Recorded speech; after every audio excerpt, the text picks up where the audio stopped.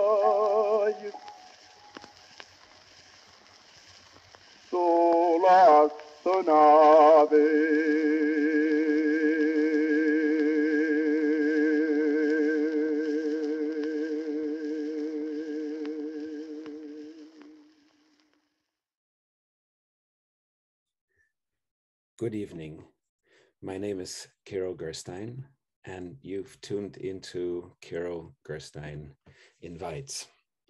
This is an online forum hosted by Kronberg Academy, and we're gathered here online. We've been doing so for the past uh, two years through pandemics, now wars, and other calamities. And I'm thrilled to have as my guest today Dr. Khatchig Mouradian, a historian, a writer, a teacher. He's at Columbia University. He's an area specialist at the Library of Congress. His book, The Resistance Network, the Armenian Genocide and Humanitarianism in Ottoman Syria, 1915 to 1918, was published uh, last year in 2021, and I highly recommend it. And um, some of I think the book is what um, Khatchig will talk about today. Um, I think it's particularly timely uh, because this week is uh, when the Armenian genocide is um, commemorated. I believe it's this um, Sunday, falls on Sunday on the on the 24th, and that calamity, that uh, tragedy is as uh, actual as ever. So we'll talk all about that. And uh, I just wanted to say a couple words about the the music that you just um, that you just heard. This is an iconic piece by the great Armenian composer priest Komitas, and this was sung by a tenor that was associated with him, a historical historical figure as well, named Armenak Shahmouradian. And there is discussion that possibly it is Komitas himself playing uh, playing the piano in this case. And the song Antuni is um, often translated as homeless, but um, musicologist and composer Artur Avanesov uh, wrote to me something very interesting recently. He said uh, Antuni is now translated as homeless, but it was not the case during his lifetime. Antuni was a genre of poetry, and tun means both home and poetic verse, so it literally meant stropheless. So Komitas gave a whole new meaning to it. And in this particular song, he has done quite a bit of editing, even the lyrics. So it's as much Komitas's composition as it is a folk song. And I think in that sense, that may be a theme here as well. But welcome, Khatchig. And just a reminder to everyone, your participation is essential. So please ask questions, comments, and I will pass them on to Khatchig and we'll weave them into the discussion. But here we go. Welcome. Uh, thank you, Kirill. Thank you for the invitation. It's it's an honor to be here to join uh, this program which I have followed over the past year at least. And uh, so today, what I will try to do is explore uh, the theme of the Armenian genocide from the perspective of uh, resilience, resistance, and at the same time reflect on uh, some aspects that, as you mentioned, are uh, current today.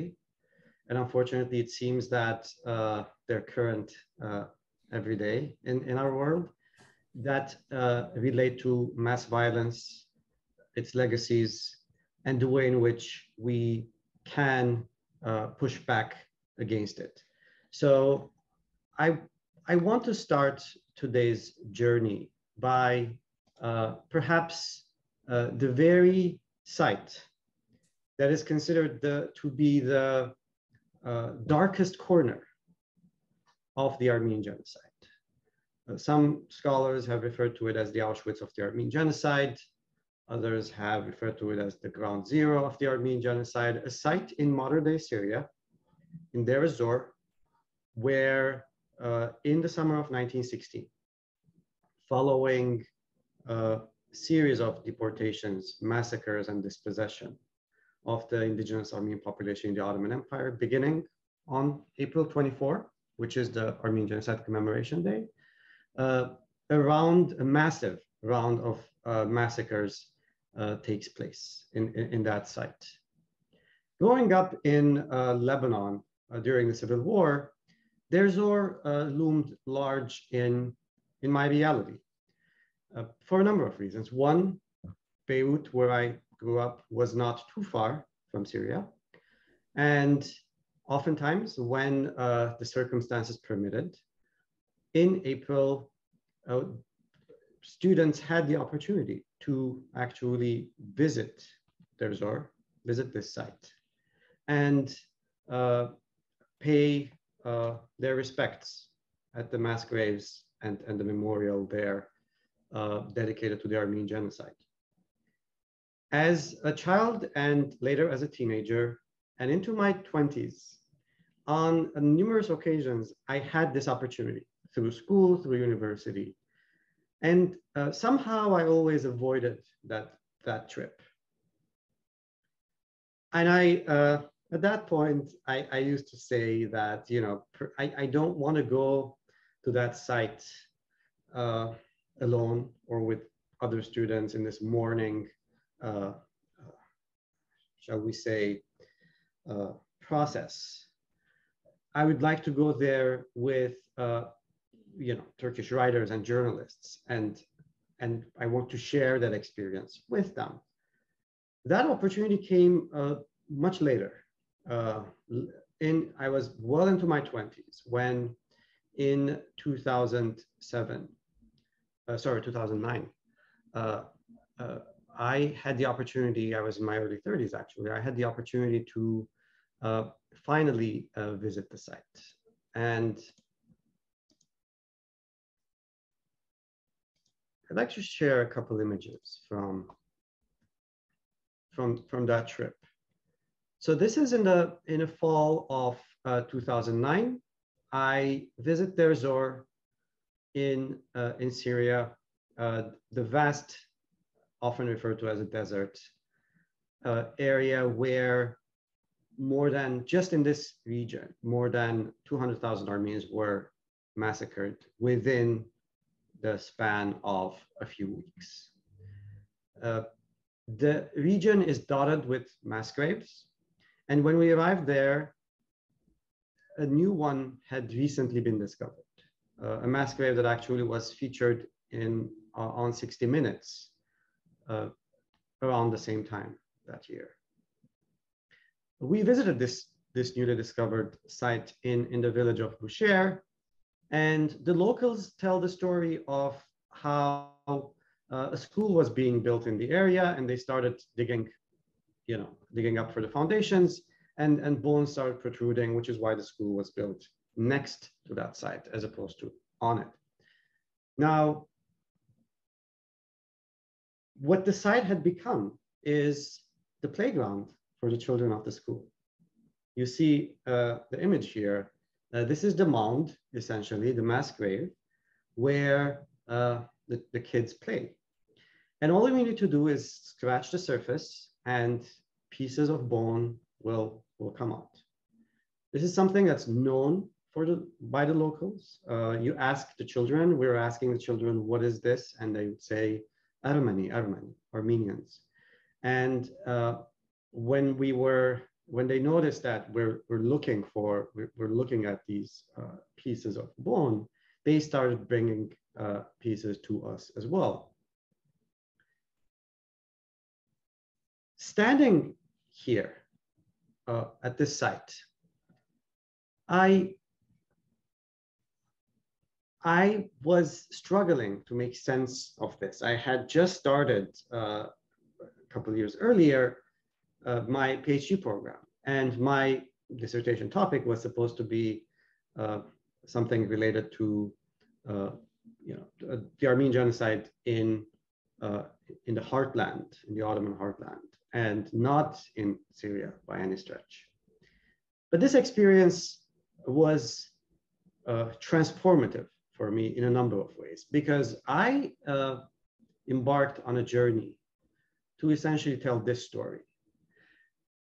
The reason I settled on it is because even though there's always such a central site for the Armenian experience, for the Armenian genocide. For a combination of reasons that I will get into in a little bit, it was uh, understudied. You encountered it in memoirs, documentaries, accounts, you name it, right? But there was no robust scholarship about what happened there, how it happened, and what led to that particular crime. Now, uh, and that, that became my uh, initial quest. So ultimately, in many ways, my project was going to be uh, one on the Armenian genocide, the second best studied case of genocide, by the way, after the Holocaust. That is largely defined by death, horrors, destruction, denial, and dispossession. Uh, there is this cloud of almost inescapable in, in the scholarship of the Armenian genocide that largely focuses on, on these themes. And, uh, and, and that was, you know, my work was going to be well situated within that, under that cloud. But something shifted over the next couple of years. Uh, it started with uh, immediately after I came back, uh, The Economist, so the Turkey correspondent for The Economist, was with me on that trip to Deir Zor. And she published a piece in The Economist uh, a few weeks later describing what we saw. It's titled Bones to Pick. This was a time when Turkey and Armenia were in, uh, in an effort to normalize relations. It didn't go anywhere. Uh, it feels like we're back to the same point uh, now. Uh, the first paragraph is quite telling. It says, the bones protrude from the earth. An Armenian priest extracts them praying quietly. Syrian secret police in a green Jeep look on. The residents of Busaira, a village 35 kilometers south of east, or southeast of Deir Zor, claim the bones are of hundreds of thousands of Armenians marched into the Syrian desert and slaughtered by Ottoman forces in 1950. And then there's a quote here that I gave the journalist. Donkeys are now defecating on the bones of my forefathers. They were not allowed dignity, not even in death. Now, I this is how I felt. And you can sense the, the anger, the frustration in, in those lines. And in many ways, uh, you know, this was uh, my path at that point was to tell this story and, and, and, and, and, the horrors that were committed there, the, the largest mass grave of the Armenian genocide. But somehow along the way, I as I uh, went into the archives, I worked in the Ottoman archives, I worked in Armenian archives that were uh, under researched, including the archives of the Armenian uh, church in Aleppo, Syria. Uh, fortunately, I was able to receive copies of many of these archival documents uh, that eventually for years after that were not just accessible, but the entire uh, region was inaccessible.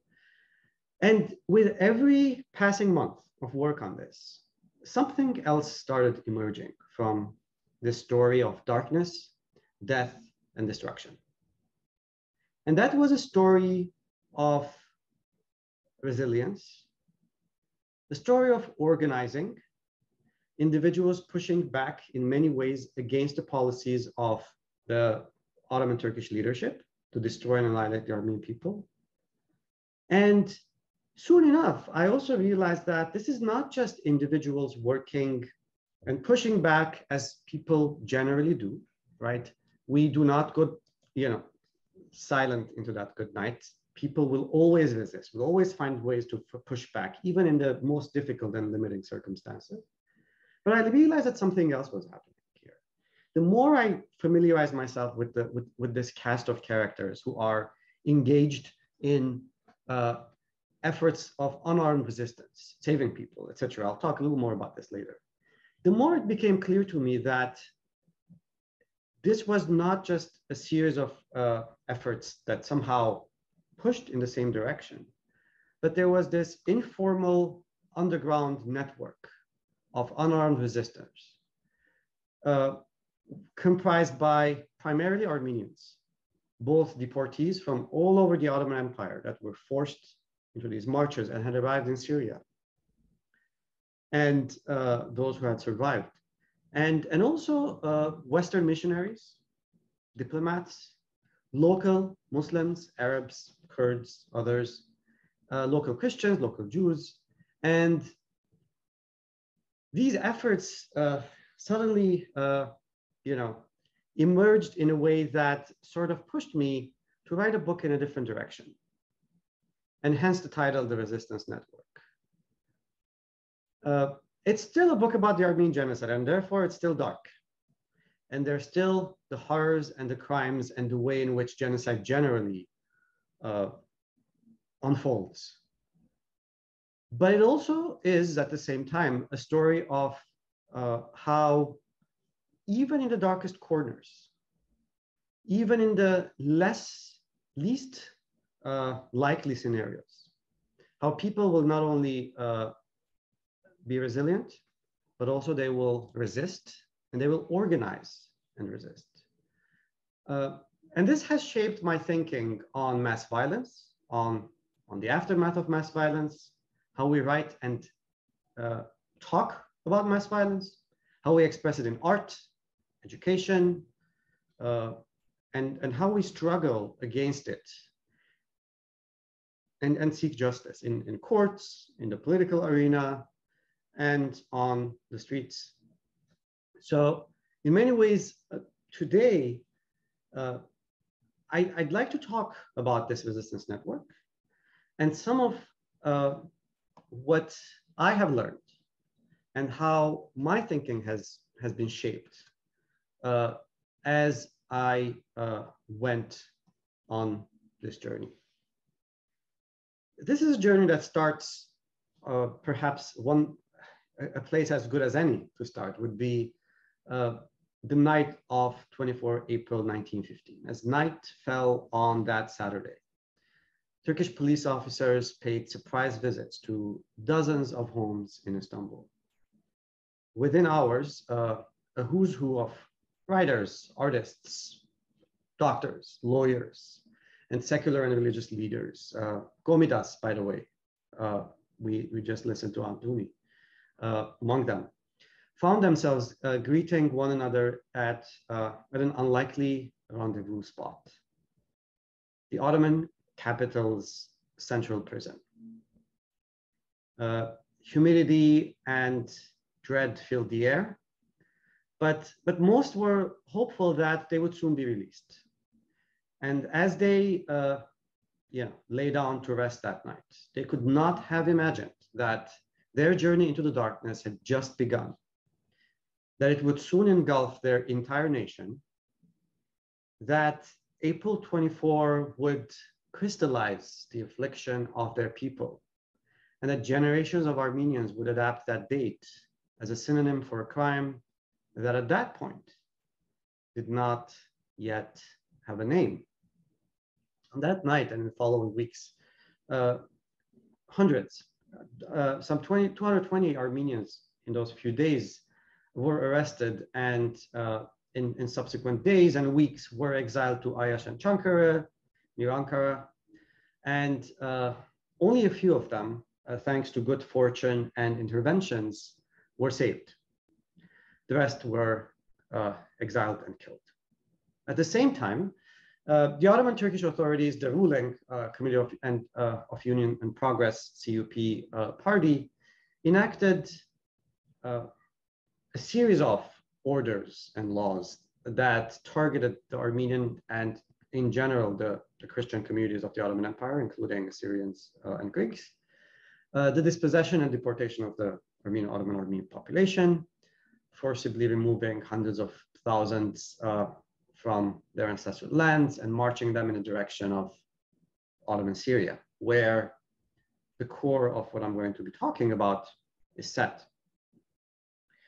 Uh, robbery, rape, massacres were the order of the day. Komitas was among those exiled to Chankara, but through the intervention of the US ambassador, as well as others, he alongside six or seven others were allowed to return to Istanbul shortly after those arrests. On his way back uh, from, uh, from uh, where they were incarcerated, Komitas witnessed a convoy of Armenians and learned about the horrors committed against them from others working uh, in, the, in, those, uh, in those areas on his way back to Istanbul. So ultimately, the overwhelming number of deportees who survived these initial massacres along the route and uh, were uh, arrived in what is modern day Syria and at that point was Ottoman Syria. Uh, they were uh, mostly placed in concentration camps near Aleppo in Ras Al Ain, by the way, these are sites that have been flashpoints in the war in Syria in, in recent years. As I was working on my dissertation and then on my book, you know, these sites were in the news over and over again, often associated with the crimes being committed there by different warring factions and uh, and, and governments. And uh, so so these these towns and uh, cities, including Aleppo, Ras Al Ain, and Deir Zor, uh, in addition to Raqqa, uh, the, the capital of the Islamic State, uh, you know, I was working on uh, the dispossession, destruction of Armenians in those very sites uh, just a century before. And although exact figures are difficult to, you know, essentially come up with, largely because of uh, many uh, Ottoman documents are still classified and accessible, we can uh, say that close to 400,000 Armenians were in, in that region, were placed in concentration camps for months and ultimately massacred in, in Deir Zor. And a total uh, loss during the Armenian genocide during for that period during the war of up to 1.5 million Armenians. Now, the survivors struggled to find words for the horrors that transpired in Deir Zor specifically. Uh, one survivor, intellectual writer, Miran Ahazarian, you know, says death was for the fortunate. Aram Andonian, uh, a chronicler and one of the first historians, in fact, of the Armenian genocide, uh, writes how we envied those who were already dead And so this town on the fringes of a crumbling empire that I visited in 2009 became shorthand for the deportation, dispossession, and destruction of the Armenians. In a poem titled Remembered Me, Remember Me, and this is a poem that I learned uh, by heart as a kid in school in Lebanon. A child survivor who became a celebrated poet, playwright, and educator wrote,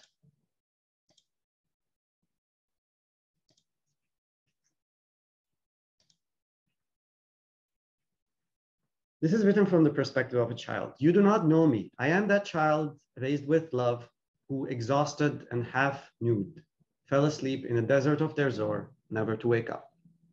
I do not want adornments, nor any warm woolen clothes. Skeletons are always nude. But when you get warm bread from the baker, make sure to remember me. Now, Armenians did indeed remember the Armenian genocide and commemorate it from, uh, you know, immediately after the war. Uh, the war ended, World War One. But ultimately, what was often forgotten were those Armenians who organized and at the price of their own lives tried to save as many Armenians as possible and, and try to uh, resist, provide assistance to the deportees. And thanks to their efforts, uh, many thousands were saved. So for me, when I tell uh, the story of uh, any case of mass violence, when I talk about any case of mass violence, uh, I make sure that in my narrative, in my discussion, I am not just talking about what is done to the victims, and not just placing the victims in a position of being on the receiving end of violence, but also talking about the ways in which the victims pushed back. And this is critical. And I start often in the classroom by asking students, uh, you know, can you tell me like uh, in one paragraph, in one minute, what happened, say, in the, during the Holocaust, during the Rwandan genocide, during the Herero genocide, and so on. And then uh, we reflect on it we reflect on how we frame this narrative and how much the agency and the voice of the victims is absent. And oftentimes uh, we feel perhaps that if we take away the voice and agency of the victims, if we constantly talk about and focus on what the perpetrators did and what happened to the victims, what, uh, you know, and we present the victims in this helpless uh, condition, we're actually making the crime look, uh, we are actually expressing the enormity of the crime in a better manner, in a more effective way. And this is what oftentimes drives uh, scholarship, journalism on mass violence, on violence in general, by the way, including uh, you know crimes, different uh, reporting on different kinds of kinds of crimes, and so, so this is this kind of narrative, though, again, sort of reinforces inadvertently precisely what the perpetrator's intention is, right? Which is silencing the victim, erasing the victim and their voice and narrative from the picture, right? And so, so we are trying to uplift the experience of the victim, but at the same time, we are uh, suppressing, you know, the victim's uh, uh, agency. So my, my, my work follows a tradition of challenging that. And in, about, in the case of the Armenian, uh, Armenian genocide, it actually pushes the discussion into this, uh, this, this open field. Armenians resisted as soon as the empire-wide arrests, deportations, and massacres were enacted. So there are sporadic cases of armed resistance in places like Van, Musa Dagh, which is a celebrated case. The 40 Days of Musa Dagh becomes uh, a novel by Franz Werfel, published in the 20s, becomes uh, a, you know, a bestseller, one of the inspirations for the Warsaw Ghetto Uprising. So, you know, there are these uh, few instances where you have, you know, organized armed resistance to deportation by Armenians overwhelmingly. uh, you know, these are local, localized efforts, and these are crushed, and the survivors are, uh, and whoever survives are massacred or deported. The only circumstances under which people survive or are saved are when there's some kind of outside intervention, right?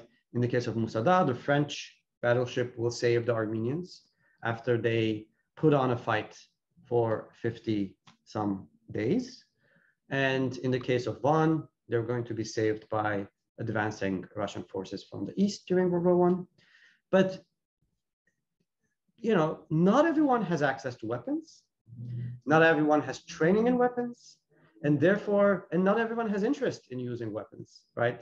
But that, of course, does not mean, you know, res resistance is not conditional on possession of this metallic object that propels, you know, gunpowder, you know, pieces of metal onto, uh, you know, the oppressor.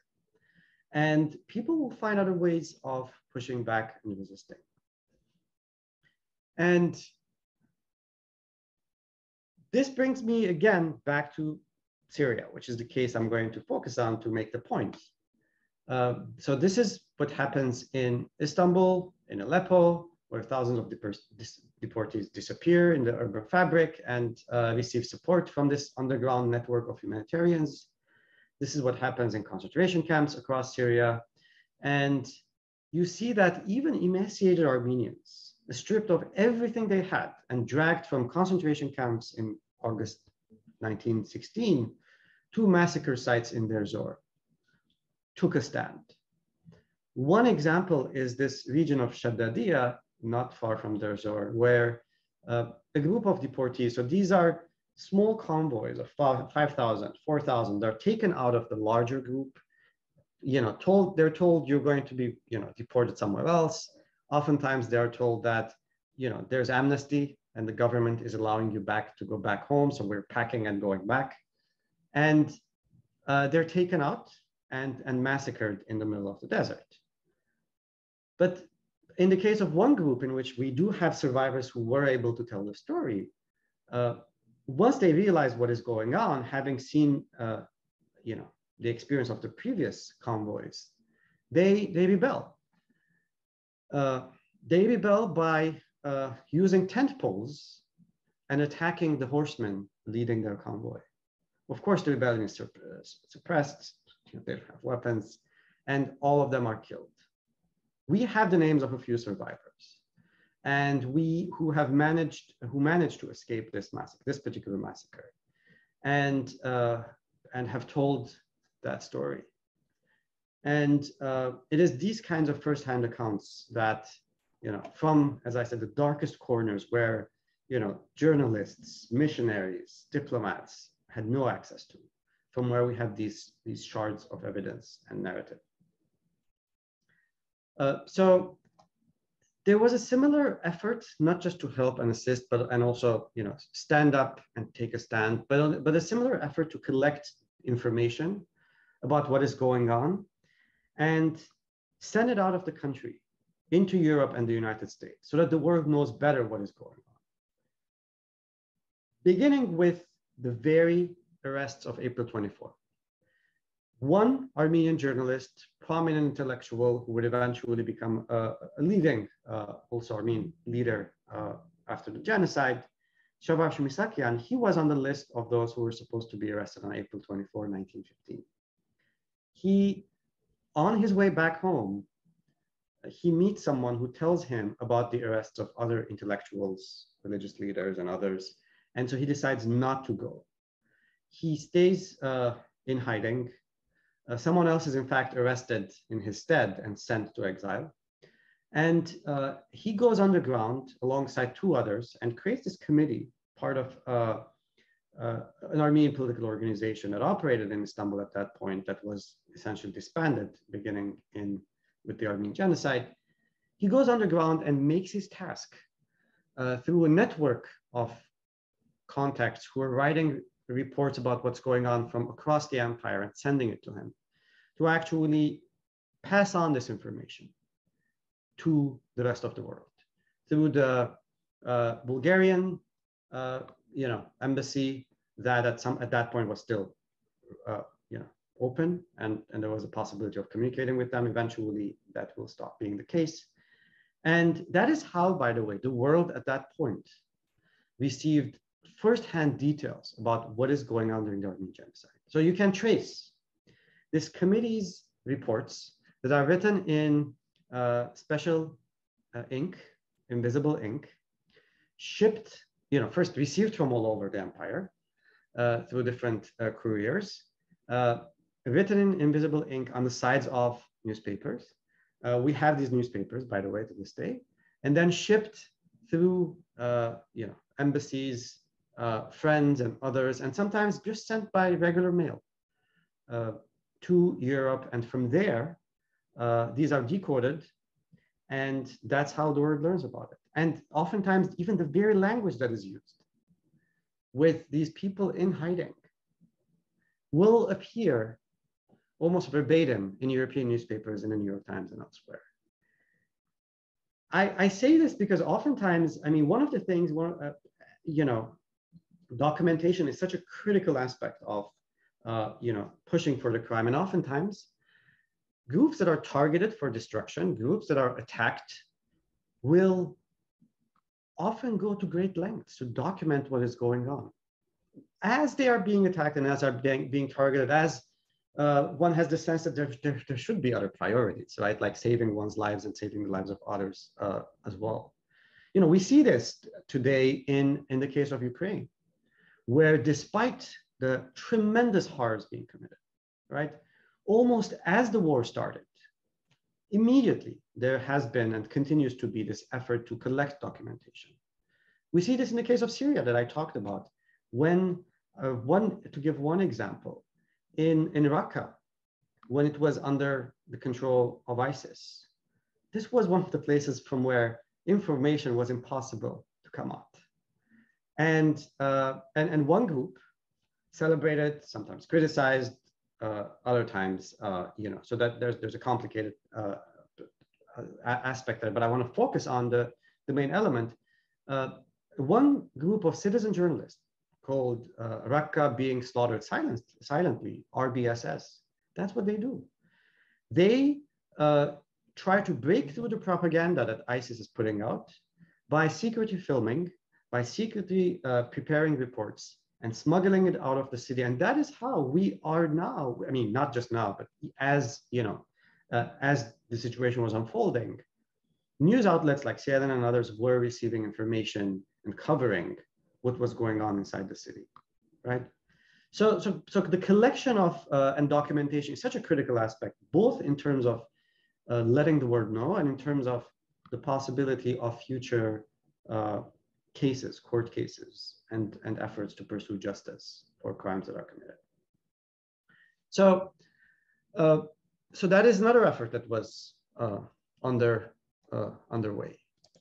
But in the remaining time, uh, let me share a few uh, more images and, and some reflections on uh, the specific case of that covers this region that I look at Deir ez-Zor that I talked about is towards the bottom of that triangular shaped, uh, you know, area. Uh, these are, you know, on the on, on, on your left hand, you have Aleppo, and Ras Al is uh, towards the north on the on the right hand side. And this triangle is essentially the region where most of the most of the Armenian genocide survivors arrive and are massacred and, and killed because of by starvation in camps and elsewhere. But this is where also the resistance network that I talk about uh, in the book uh, engaged in their work. Now, uh, I, I, you know, this image made, made it to the cover of my book and uh, it did so for a, an important reason. It's, it's a photograph from the Nubar Library in Paris that depicts uh, some of the central figures who are involved in this unarmed underground network of resistors who are trying to save lives, as many lives as possible during the Armenian genocide. It also demonstrates, you know, so, so at, the, at the center you have uh, Nora uh, Altunian and, uh, you know, Aharon Shirajian standing right next to her. And uh, it also is this demonstration of how you have uh, individuals, right, again, many of these people never fired a single bullet, uh, whose efforts through uh, in the darkest moments, in the darkest corners, right, will transform uh, and will save lives and will transform realities, right? And uh, these are regular people. These are people that are often presented as victims and survivors and uh, individuals who hardly are thought of in the context of resistance, which is often uh, thought of just generally in terms of armed resistance. Here's a couple of quotes that sort of illustrates it. This is from the wife of uh, another uh, Armenian who was part of this network, Reverend Eskijian. And this is what she writes. As the Reverend Eskijian you know, dedicates his life to saving Armenian deportees arriving in Aleppo. And the police was after him, uh, but ultimately typhus gets to him first, and he dies of typhus that he contracts from the deportees in early 1916. So this is his wife writing a few years later. My dear Badveli, barely out of bed from his sickness, disregarding the personal hardships and peril of his own to his own life, relentlessly labored day and night to save other lives. Together, we pressed ourselves to the very limit of our endurance. All our time, energy, effort, sleep, food, clothing, and other material possessions were put on the line in behalf of this wretched, miserable mass of torn and battered humanity in reference to the Armenian deportees arriving in Syria following those massacres. Teenagers were involved in resistance. Kids.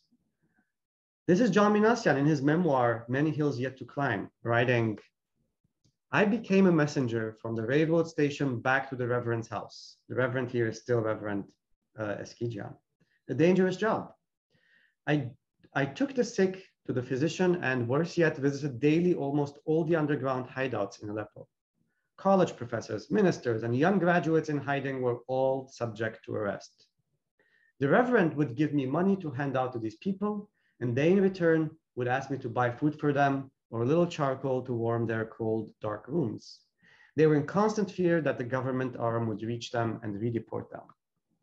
It's worth noting here that the Reverend, where did the Reverend get the money from? The Reverend got the money oftentimes, in fact, from the US consul in Aleppo, Jesse B. Jackson. The US consul in Aleppo himself received the funds from uh, the United States, there was this major humanitarian uh, effort, one of the first in, in modern US history, uh, which raised uh, a couple billion dollars in today's money, uh, beginning with the Armenian genocide, but also in its immediate aftermath. But again, and, and there's vast amount of scholarship and, and writing about this. But what is missing in the narrative is that this money, you know, during the Armenian genocide, it was not possible for you know, humanitarians and missionaries to just go around and distribute it to deportees, right? A group that's targeted for destruction. So there was this underground group of Armenians who were secretly, right, uh, engaging in this effort to smuggle the resources, the funds, uh, to buy medication, food, etc., and try to keep as many people alive as possible, as the authorities were going after them. Ultimately, most of these people would be killed, would die of exposure, you know, my book is this, you know, the, the central figures in the book of the network will not make it to the end of World War One. But those who do, and the legacy of this lives that they say, will essentially shape the post-war reality uh, of Armenian life and beyond. The very notion of an Armenian diaspora rebuilt in the aftermath of the Armenian genocide, largely you know, stands on the shoulders of these men and women and children.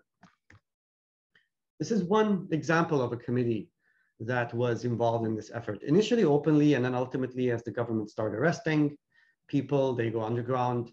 The priest seated at the center is arrested and is only managed to escape uh, as the Ottomans were defeated in 1918 and were withdrawing, and the, the prison essentially, uh, you know, there's this major prison, uh, you know, escape uh, opportunity and, and, and he escapes the prison.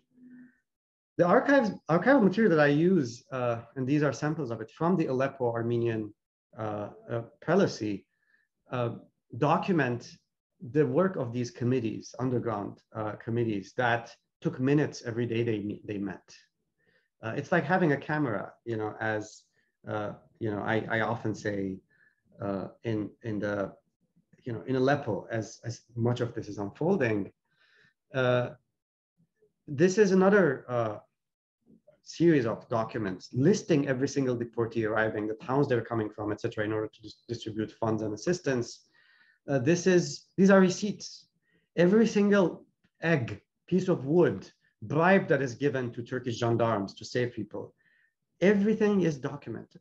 Everything is kept as the war is unfolding, World War One, as the genocide is unfolding, and uh, and this is again a ledger where again all these expenses are documented. Ultimately, what we see here uh, through this effort is the ways in which uh, people will uh, push back and the ways in which that pushback will echo uh, across uh, decades and shape uh, different realities. And the implications of this are, as I said, you know, going into the study of the darkest corner of the Armenian genocide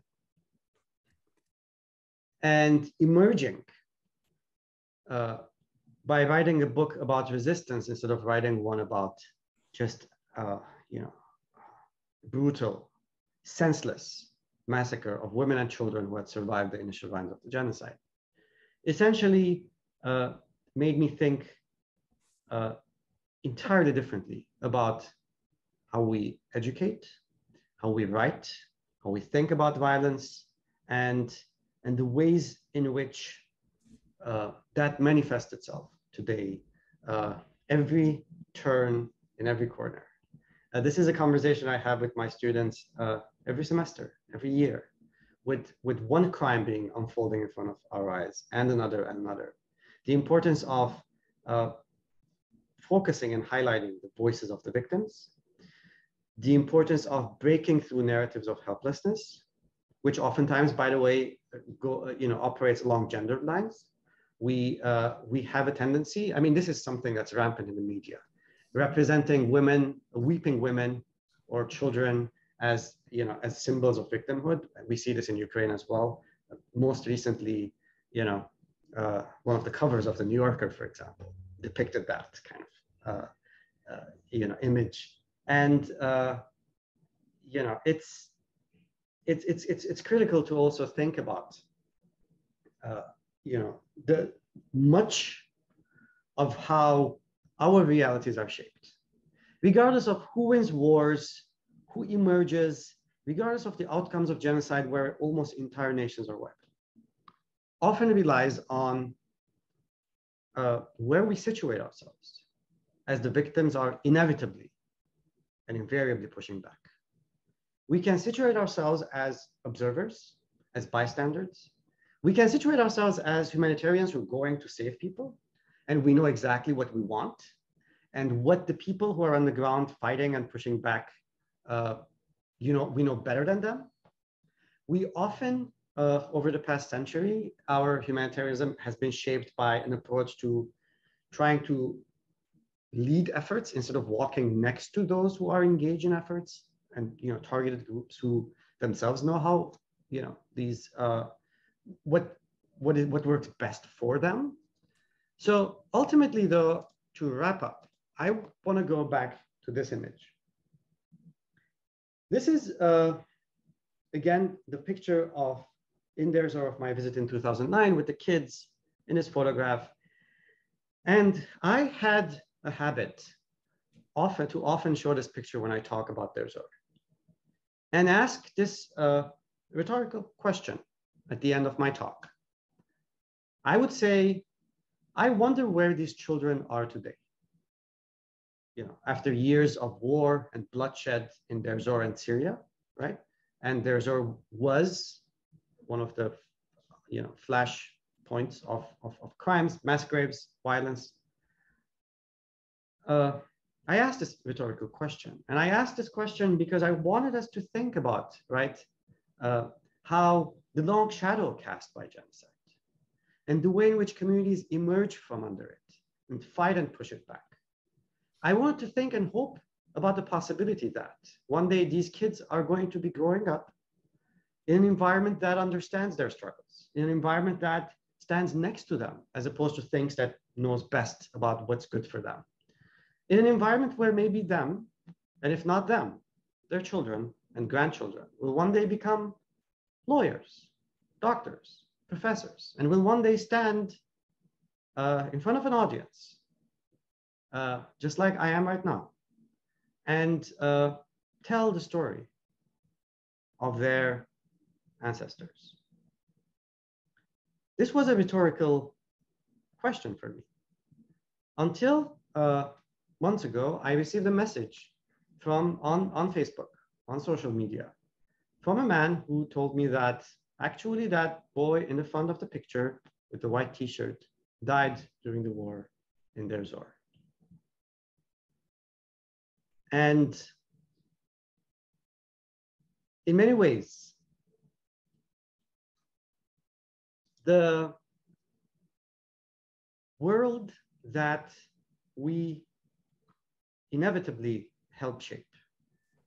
With our actions, with our inaction, uh, and the, with the way in which we engage in our actions, we essentially determine uh, the path for those among those boys who are in refugee camps, who are scattered across the Middle East, perhaps Europe and beyond, and the way in which we're going to be telling the, their stories and the stories today of the crimes that are being committed, and the way in which the world is going to be shaped in the future. Because I strongly believe in, you know, in the in the pessimism of the intellect, optimism of the will, right? To quote uh, the, the, great thinker, that uh, even though there is extreme asymmetry oftentimes, and we're watching it and witnessing it today, right? Uh, what echoes uh, over time and across generations will often be the efforts of the victims and those who stood with them. You know, the Martin Luther King quote that says, you know, the arc of history bends towards justice. I, I, I keep telling my students that it doesn't just bend. You have to constantly bend it. And you have to constantly remain vigilant, vigilant about it, uh, you know, moving in that direction. And I do think that uh, an appreciation of the voices and the resilience of those who are targeted and the, their vision for the world can very much help make that a reality. Thank you. Thank you, Khatchig. This is uh, wonderful and moving and so poignant and makes uh, makes me want to pause and um, and contemplate. On the other hand, there are so many uh, um, follow-up questions that that I have, and we have some wonderful uh, questions from our participants that I'll I'll uh, pass on as well. And uh, beautifully said the um, the symmetry of the of the situation, and of course, so so much of what you said resonates in, and one is reluctant to say it, in other examples of, of genocide, uh, before and after and um, and currently. But um, hard to even choose where to uh, where to lead off. But uh, we've had some wonderful questions by uh, a person with initials nk so i can't uh, give credit of the full name but somebody is asking wonderful questions. So the first one was why in your opinion the international community is now pushing for the recognition of the so-called Ukrainian genocide happening, happening currently in Ukraine in Ukraine's opinion, says here in parentheses, and is neglecting the Armenian genocide of 1915 and 2020 that were a precursor for all the future atrocities of this type. Where is this selective silence and activism coming from? There's a lot to unpack here and, and uh, to elaborate on. Yeah, certainly a question that has a number of uh, components to it. I'll try to briefly address some of them, and if there's interest, I'll, I'll, I'll delve deeper into them. But uh, a few points. One is that uh, you know, the, the term genocide has uh, become uh, one of those uh, critical terms that uh, sort of oftentimes targeted groups aspire to be adopted because of the ways in which it, it invokes a certain kind of reaction as the worst kind of crime because it uh, also uh, opens up the possibility of intervention. And uh, it is, in that sense, uh, critical. Now, it's important to note that, of course, uh, you know, crimes against humanity, uh, if you're talking in terms of, you know, ways in which perpetrators can be brought to justice, right? You know, in, in a legal context, are are no less heinous and will put the perpetrators behind bars, right, for the same amount of time, right? You know, perpetrators of crimes against humanity will get life in prison, and so will perpetrators of genocide, right? So in many ways, there are, uh, and, and both uh, are, you know, are, are horrible crimes. And this creation, creating a hierarchy of crimes and worthy and unworthy victims although is uh, an exercise that every group engages in, sometimes understandably, right? Every, we all want what's happening to us to be appreciated, understood. And we all want uh, that enormity to be conceived, perceived, and expressed. And uh, genocide captures that in ways that, again, many other uh, terms do not. Now, is this selective? Absolutely. Uh, this is selective, by the way, uh, largely again because of circumstances, because of politics. Understandably, I'm not saying anything earth-shattering, you know, groundbreaking here, but also much depends on the efforts of those who are pushing for acknowledgement. The example of the Armenian genocide was given. If we just look at the past couple decades, you know, and the way the major advances in terms of scholarship on the Armenian genocide, activism on the Armenian genocide, and the ways in which one European country after the other, some Middle Eastern countries and others, as well as countries in uh, like Canada and the United States, have recognized uh, the, the Armenian genocide through this, again, effort to bend and vigilantly pursue bending that, that, that arc towards justice uh, is, is critical in that regard. And, and yes, oftentimes there's going to be pushback. Oftentimes there's going to be selective, uh, you know, approaches, etc. But ultimately, that that is a critical critical component, pushing for that. Uh, that's one. The second element is uh, double standards. Double standards are uh, constantly being uh, raised in the current context, and not just in the current context, right?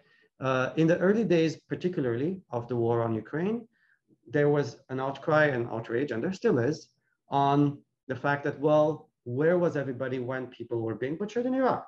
Where was everybody when, Ye- when Yemen was taken, you know, and is, right? The crimes were taking place in Yemen, Palestine, Palestine elsewhere, right? Uh, and there was this frustration in Tigray. And uh, same thing with the other, uh, the, the war on Nagorno-Karabakh with the horrendous, you know, taking advantage of the, you know, the, the pandemic to essentially ethnically cleanse an entire region of its Armenian population. Uh, so there was this justified uh, anger and frustration. But I don't believe and I don't see uh, these issues in terms of some kind of competition. And I do believe uh, you know, in the work of a scholar who actually thinks about what he refers to as multidirectional memory, about the fact that these different experiences can, it's, it's not, uh, memory is not some kind of real estate, uh, you know, he argues, uh, uh Michael Rothberg, uh, where you know like if if if i lose something it's your gain and if you gain something in terms of the space of memory of a particular crime i lose right it is possible for these memories of crimes the way we think and remember them to actually work together and to uh, you know create a different kind of memorialization space. So that's that's another critical element. Now, specifically, one final point. Again, I can delve deeper into these aspects, but I, I think it's better to just have some general themes out there this early in the discussion. Uh, and the third is, uh, you know, governments and their policies, which are often inevitably shaped through uh, interests. And, and there, uh, too, interest can also mean, though, uh, interest of their constituencies and how vocal their constituencies are and how hard their constituencies are pushing for a particular uh, cause and issue. And again, there, uh, you know, there is the possibility to break out of this sense of helplessness and impasse. It's not always there with the same uh, strength. You know, one of the things that genocide does, uh, let me take a step back, right? Yes, there is always resistance. Yes, there is always pushback and documentation. And, but, you know, it doesn't always translate in the real world into uh, how, you know, into that arc bending towards justice. There are entire groups that have been wiped, entire nations that have been wiped from the, you know, through genocide and mass violence from the face of the world. Uh, you know, destruction of Native Americans in this country, right, is, is, is a critical case in point.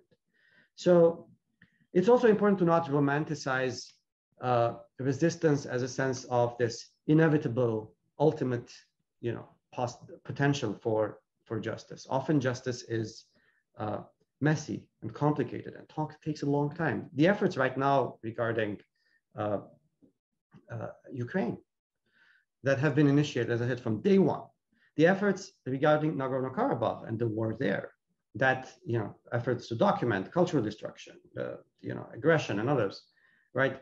These are going to take long years and it's going to be messy and it's not always going to end with the arc bending in in a particular direction. But uh, overall, I see no other way out than the path of solidarity and the path of struggle, which will not always be victorious, but, all, but it always is inevitably the path that is available that can lead to uh, an outcome that is different for us or the next generation let me stop here and perhaps we can come back to some of this. Yeah i wanted to to ask and and obviously some of our uh, participants are very well versed in the in the history and the origins of the armenian genocide and some are less. So if you could um, help us frame a bit the um, as you see the root causes of this uh, horrible, uh, hateful outbreak that um, that was in the at the start of the Armenian genocide, and also what, in your opinion, ended it, or so, and did it end, and how did it end? So, um, so I think it would be helpful to understand how you view the start and the causes, and and and what's brought it to to a close, so to say.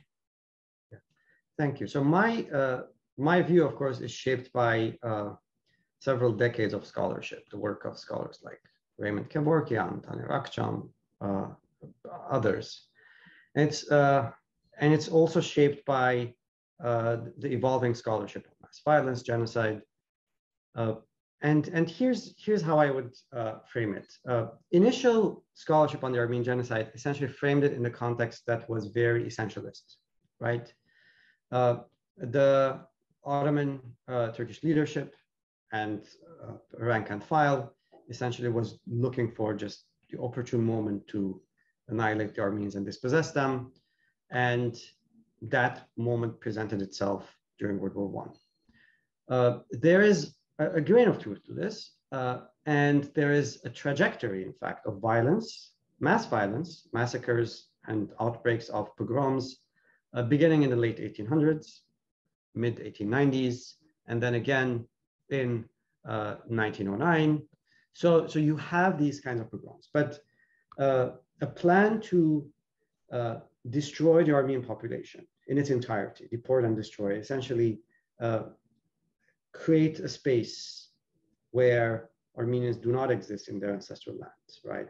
Dispossessed, and, and that region is Turkified was one that was uh, largely uh, enacted during World War One uh, for a number of reasons. One being that uh, the authorities realized that this, uh, uh, in, in a period where you had leading up to that point, right? The Ottoman Empire was in decline, you know, although the term decline is a complicated one and many scholars would, that's a different discussion, but the Ottoman Empire was in decline. It has lost in decades before that vast territories, particularly in Europe, but also in North Africa and elsewhere. And it was shrinking, largely due to uh, different groups uh, trying to break free from the empire. Uh, you know, Bulgaria, Greece, others. And, and, so, and, and so the view was, so the first point, the view was that, you know, uh, this will continue. And, uh, and, and therefore we should create a space, particularly what was considered the Ottoman heartland, which happened to be the Armenians' ancestral lands, right? Where this cannot potentially occur in the future, right? Uh, the Armenians themselves were largely not, you know, in any way, shape, form, uh, advocating for independence or anything of that sort. It wasn't even conceivable for most Armenians at that point. Uh, but they were indeed advocating for decades before that for uh, basic civil rights, for the right to actually, for their properties not to be stolen, for the systematic rape in many areas and regions in rural areas to stop, for dispossession to end, etc., etc. So there was engaged Armenian, uh, uh, you know, role that was being played activism, often falling on deaf ears in terms of the Ottoman leadership, and often falling on uh, European uh, countries, often intervene Russia, uh, you know, the UK, France, to a lesser extent, etc. Were intervening every now and then, but oftentimes pursuing their own, you know, ideas and plans in the Ottoman Empire. So this was one aspect. So the Ottoman leadership, Ottoman Turkish leadership, aimed to solve a number of issues at the same time, right? One was, uh, you know, just the, the clearing, ethnically cleansing that region of its indigenous population. Second, through the dispossession of these people, the creation of a new class of uh, a, middle class that emerges. You know, the, the founding of the Turkish Republic, right, heavily relies on, uh, you know, the, this dispossession, right, in, in many regards. And at the same time, reducing these forms of uh, intervention. So this is critical. The other aspect is that, and this also, this connects to, to my work, it does not in any way, shape, or form stop with just, you know, let's remove the Armenians from these territories, right? There, you know, these deportations are accompanied by massacres. In certain regions, the rate of destruction on site is up to 80% of the Armenian population of particular towns and cities. Others, it's, it's less, but ultimately, uh, you have in this early period hundreds of thousands of Armenians who are outright killed not just dispossessed, not just removed from their lands. There's a second phase. Once these survivors arrived in Syria, there is a second set of reasons for what transpires after in terms of massacres. And this is referred to often in scholarship uh, by scholars such as Raymond Kevorkian, Hilmar Kaiser, and others as the second phase of the Armenian genocide. And here, in the second phase, which my book essentially fully covers, most of the male population is already killed off. Most of the survivors are women and children. Many survivors are just dying, sometimes by the hundreds in concentration camps. At the edges of the Ottoman Empire, not anymore in the heartland, right? Yet still, there is a decision in, uh, in 1916 that starts with Ras Al and ultimately in the summer in Deir ez-Zor to kill off yeah, large numbers of these survivors through massacres. Uh, this was outright, uh, uh, senseless killing. Not to say that what was happening before was not, but uh, and and there are reasons for that that one can speculate, right? We do know that yeah, these actions occurred, And it could possibly be because of fears that uh, should the Ottoman Empire lose the war, which is what happened, right, uh, as some kind of uh, effort to bring them to justice. By the way, the the the the, uh, the, the Allied powers, right after, you know, at the very beginning of, you know, in, in 1915, as the news of the deportations and massacres emerge, uh, in May of 1915, they actually issue a statement saying that the perpetrators are going to be held accountable, uh, in which the, the term crimes against humanity is used, right? One of the earlier cases where the term is used. Uh, and uh, so, so that may have most likely was a way in which you would just get rid of the population. So there is nobody to actually eventually uh, create a new Armenia in a defeated Ottoman Empire. And so that, uh, so there are there are a series of decision or perpetrators, by the way. You know, genocide is not one of those things that just descends equally with the same level of uh, strength and power and uh, you know degree equally across space and time, right?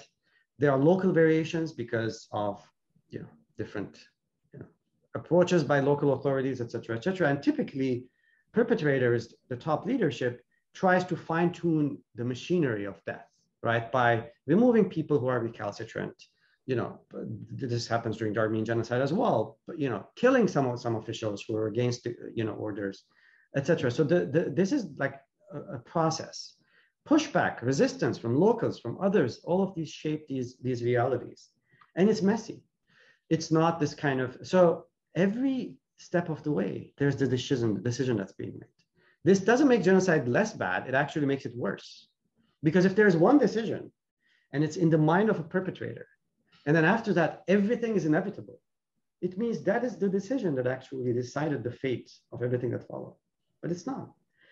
Every step of the way, the perpetrator is making yet another decision to continue, to expand, to do more, to kill more, or to stop. And any understanding and thinking about mass violence, even the ones at, particularly the ones that we're actually witnessing right now, is part and parcel of this, which also makes it very difficult to think about terms like genocide when it comes to Ukraine today, right? Uh, because, uh, but we do know that there are cases of utter destruction, just like I mentioned Raqqa before, where the attack on the Islamic State uh, to essentially remove the Islamic State from Raqqa led to urbicide, the destruction of an entire city. It, it, was one of the most destroyed cities in modern history through particularly allied, you know, US uh, uh, and, and other allied forces bombing the city, uh, sometimes targeting civilians as well. So the same thing is happening in places in, in cities like Mariupol and elsewhere, where at some point we're going to have a much different understanding and appreciation of what of the horrors that have un, unfolded there. But uh, to go just wrap up with, with, with, with your question, I do think that the intentions of perpetrators are evolving. They're not always in one direction. And, and that does not make a crime less bad, it actually makes it worse because we're constantly making and remaking decisions that's having an impact on uh, you know, countless lives. And uh, thank you. And um, and as far as the other side of it, uh, of course, the tragedy has this uh, very long echo, as as as you've discussed. But um, but how does it end? The in this case, the Armenian genocide. What ended the the mass killings? Is it the is it the fact that uh, World War One outcome and and the losing sides or or what actually stopped it? Or was it an intervention of the allies? How do you view that? Yeah uh, thank you. Sorry i missed that part of the question. Uh, so uh, so the world war ends in uh, in in syria and some parts uh, so uh, i mean genocide ends in syria essentially with the ottoman defeat and withdrawal right by 1916, though, much of the aims of the perpetrators was accomplished. The destruction of Armenian community life was essentially uh, uh, near complete, right? So that did not exist. There were survivors scattered all over the region, but an organized Armenian community life was uh, destroyed. And uh, so World War One ended it there. And then in the period between uh, the end of World War One and the establishment and the emergence of the nationalist movement in Turkey, and ultimately that culminated in the establishment of the Republic of Turkey, uh, the 100th anniversary of which is uh, uh, you know coming up. In, in that period, of course, many of these policies are continued in other parts, particularly in the interior, with and in the direction of the Republic of Armenia, this fledgling nascent state that emerges just for two years, and then it's essentially crushed between an Ottoman onslaught and and and and and and, and the Russian, uh, you know, pressure on the attack on the other side. Now, uh, so in a certain in certain ways, putting uh, it's it's always difficult, of course, to point to the big to a beginning and an end. And uh, there may be, it may be easier to point to a beginning, even though this is, as I said, a culmination of uh, earlier outbreaks of violence. Uh, the end is even more difficult because in decades that follows the establishment of the Turkish Republic, uh, oftentimes genocide, the outright killing stops, but that asymmetry that is already that's already like enshrined and, and finalized is maintained in other shapes and forms, right? That structural violence becomes the order of the day, right? And it, it pervades and permeates everything in, in, in, in life. And, you know, as scholars who have written about the aftermath of the genocide inside in Turkey, beginning from the 20s and onwards, uh, Lerna Ekmekçioğlu, uh, Talin Suciyan, and others have demonstrated so effectively. Uh, you see uh, that these policies you know, have taken a grip of the system, the structure, and the dispossession uh, of Armenians continues. You know, there's there's work on this by Turkish and other scholars as well. The pushing Armenians out of the Armenian heartland continues. Those few survivors who eventually go back are, are pushed out. And, and in that way, uh, you know, the echoes of genocide continue. Another way in which the echoes of genocide continue are is the destruction of cultural heritage sites before the Armenian genocide, there were some 2,000, uh, you know, Armenian churches, monasteries, small, you know, houses of worship and prayer, uh, most of which are uh, essentially destroyed.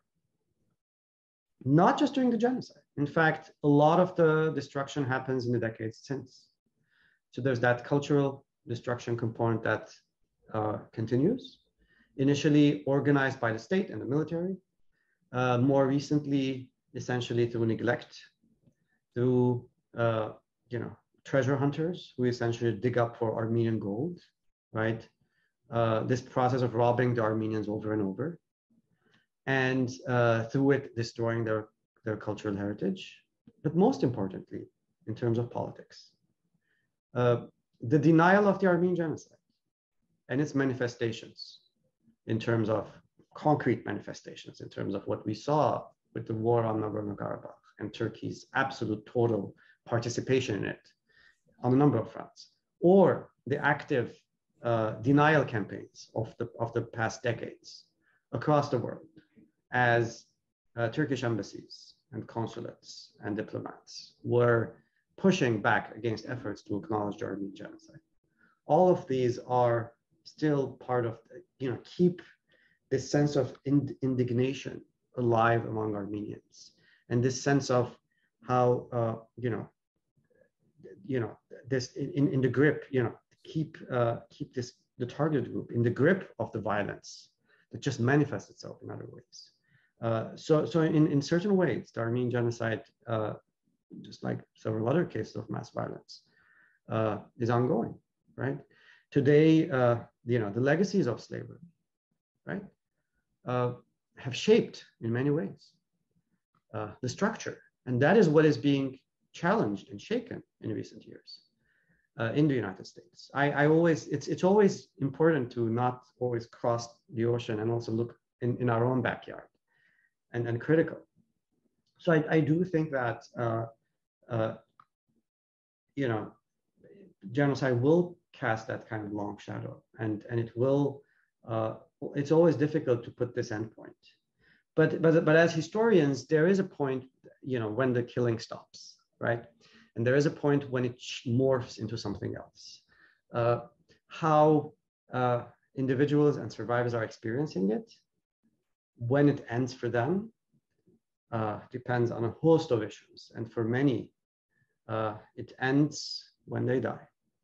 The survivors of the Armenian genocide, as a child, I used to see survivors, you know, lining up the front rows of commemoration events.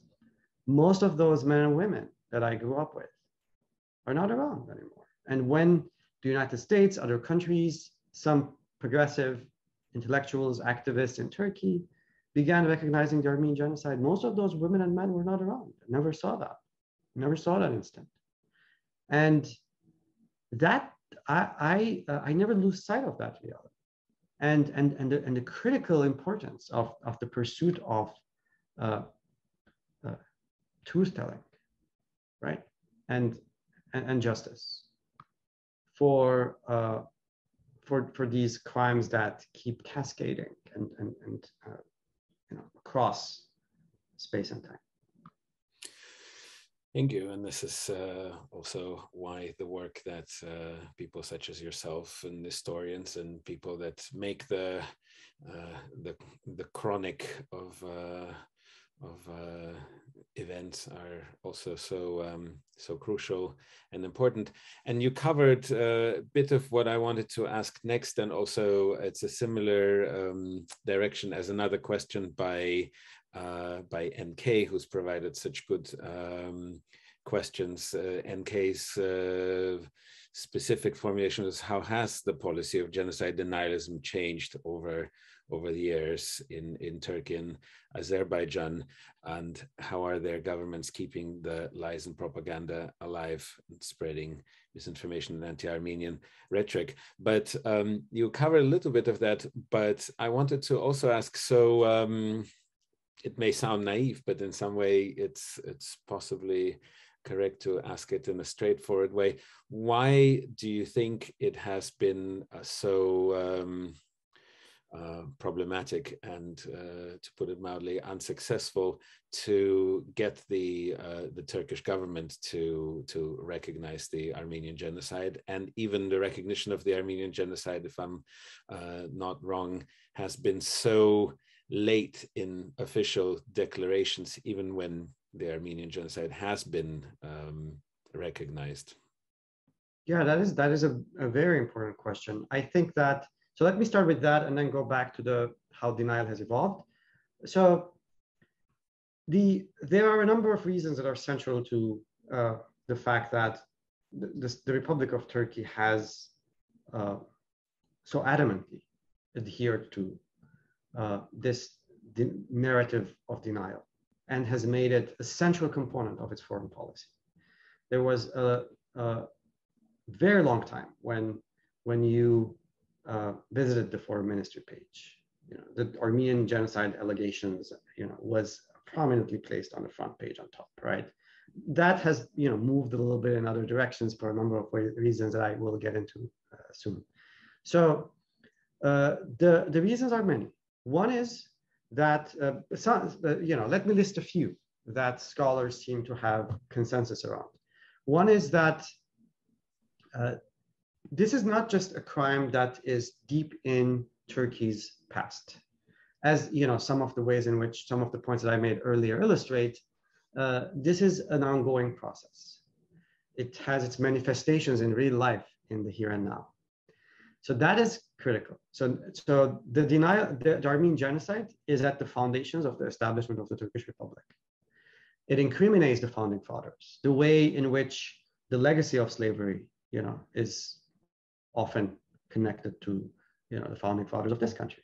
So, and that is, uh, so it's, so that's that's one critical component to, to keep in mind. Second, uh, the denial of the Armenian genocide is something that has been going on for decades. Entire generations have studied this in school, learned about it, in, in you know through art, films, documentaries, everything, right? Uh, it's part of their reality. The denial is all they have known until very recently, when through the internet, through some distant voices and others, an alternative narrative has been presented to a broader Turkish audience, right? And gen- break, breaking generations, denial that is built over generations and generations, is not something that is uh, easily achievable. The third element has to do with consequences. And this also looms large in the Turkish psyche. There is this notion, there is this, uh, which is often referred to as the Sèvres syndrome among uh, you know, Turkish political elites and also an, a notion that is largely also uh, disseminated in the public discourse. This notion also of, you know, like imperial powers trying, trying to uh, tear Turkey apart, right? and uh, and and that is that is a frame that's very much there, and the consequences related to reparations, of property, of land, territorial claims, and issues like that have always been uh, a, central uh, driving force in sustaining the denial. Now, uh, to go back to the original, to the process of the denial and how it has shifted. The genocide denial, genocide denial, even though the term genocide does exist, the denial of what was happening to the Armenians begins with the destruction of the Armenians itself. So we see the chief perpetrator of the genocide, the mastermind Talat Pasha, denying what's going on to the US ambassador. We see Jamal Pasha, who was responsible for, uh, you know, the region of Syria, uh, you know, denying what was going on. So denial is all typically part of the the very process of genocide. It starts, you know, with the killing, and it continues long after the killing has stopped. And uh, over years, though, it has changed. So for the first 50 years, Turkey was not very much forced to actually deny, you know, because here's the thing, right? There's this conspiracy of silence, as some scholars would argue, about the, you know, mass violence. Uh, victims, for their own reasons, do not have the luxury to talk about, demand, protest, and make their voice heard in the early years and decades after a crime. Uh, because they are dealing with other challenges, right? In the case of the Armenian genocide and other cases as well, right? It takes a generation, sometimes more, too, to rebuild completely obliterated communities, right? In completely different lands and new, uh, new areas, regions across the world. So the period leading up to the 50th anniversary of the Armenian genocide was a period where uh, this kind of vocal activism was not uh, in any way prominent, right? Armenian commemoration was an, a more uh, internal within the community effort. And Armenians were engaged largely in some of the major uh, issues of the period, including the deliberations and the outcome of the uh, you know, Genocide Convention about which I've written. But this is one critical aspect. Ultimately, so, and the perpetrators, perpetrators don't just go around and say we killed, right? Or they don't just go around and say we did not kill. They do not deny unless somebody is making a charge, right? So uh, there's this conspiracy of silence where the victims are unable to speak. They have not established themselves. They're scattered around the world. They're rebuilding their own communities. They don't oftentimes know even the language of the land where they are. Uh, and that takes time. The perpetrators are silent because it's not in their interest to speak. And there's this conspiracy of silence that emerges, right? And with the establishment of the Turkish Republic and the interest related to, you know, uh, its strategic role, you know, international, you know, the United States, other countries, etc., that are trying to court Turkey also have less interest in engaging with this issue, right? Even though it was at the forefront of the discourse in the early 20s, it gradually disappears in the United States and elsewhere. The 50th anniversary is a turning point because Armenians all over the world organize and start protesting and demanding justice. Thousands in cities large and small around the world are doing this. In Soviet Armenia, there's this kind of outburst as well, uh, which is fascinating taking into account the circumstances on the ground. And since then, you know, this has become more of a process. Now, with the 60s and 70s, the Turkish state uh, reaction has changed and denial has become something that they have done, you know, uh, routinely, often uh, proactively, right? Because the, the, the louder the voices for justice got became, and the more amplified they were, and the more scholarship caught up and essentially demonstrated how it is, the, this you know, denial became more vehement. And but also it changed over time. So it, initial initial position was one that was uh, deemed not tenable anymore, like accusations that you know it wasn't it was the Armenians who committed genocide against the Turks, right? Those kinds of things. Uh, you know, perpetrators will always uh, move the uh, their their positions to a place that's more tenable, that's easier to hold. It's like a battlefield, right? The struggle for for truth, and that line, you know, uh, those trenches had to be abandoned, right? Of saying, you know, no Armenians were Armenians were not killed, Armenians were just deported, and we took care of them, etc. That narrative was abandoned. Uh, in recent decades, the narrative is different. You know, unfortunate things happened. You know, hundreds of thousands of Armenians died. You know, also many Turks died, and it's like it was wartime, etc. That kind of thing. In addition to a healthy dose of other kinds of denial, like you know, it was the Armenians who did this and that, and uh, you know the, the typical narratives that you have. In addition to this, there's a lot of money that's being poured into it in terms of PR, uh, hiring, you know, uh, you know, companies to create these kinds of narratives, etc., that drives it. Today, that denial has gone through several stages. There's fascinating work on this by scholars such as Jennifer Dixon, who's written a comparative study of uh, Japan and Armenia uh, and the Armenian genocide. Uh, so the, the, in the case of Japan, Nanjing massacre and the Armenian genocide in the case of Turkey. Uh, there's other scholars who've written on the denial in its different stages, but denial always meant, you know, shift and, and change uh, without surrendering its core tenets.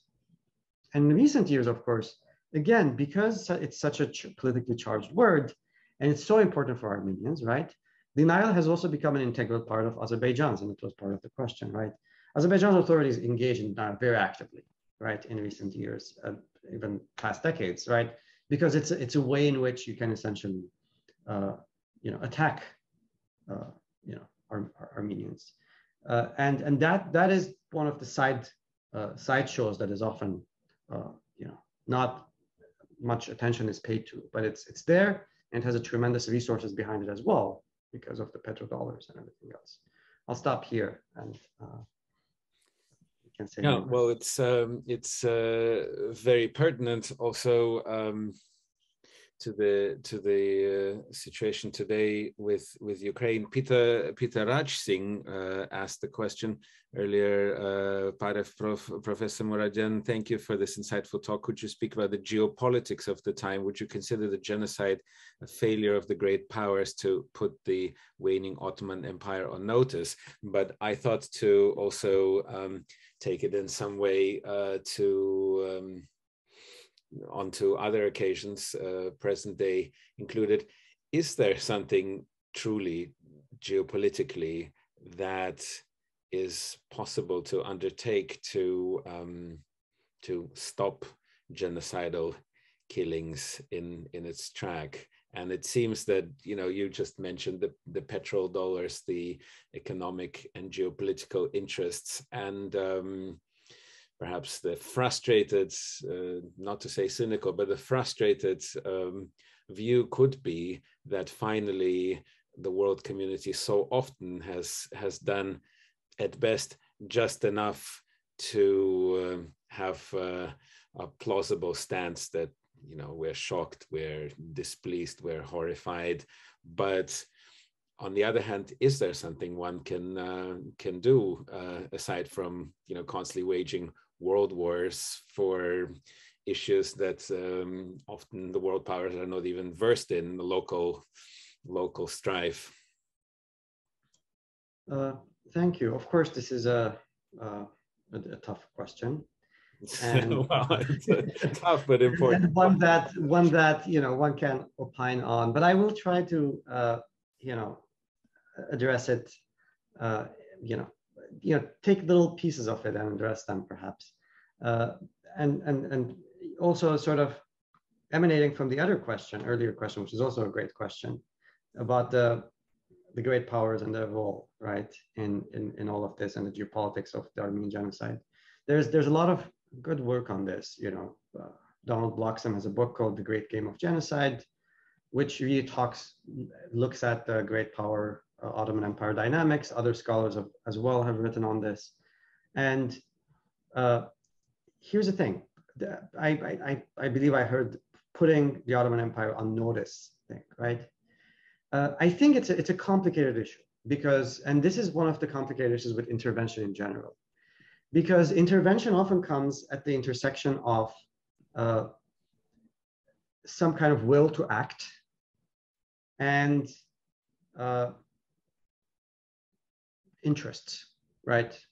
To be very just simple uh, in, in my statement. So, so, so, so some kind of uh, overarching, driving, uh, you know, interest of uh, what you know states, governments, uh, other uh, forces within states, and has to line up with a push for intervention.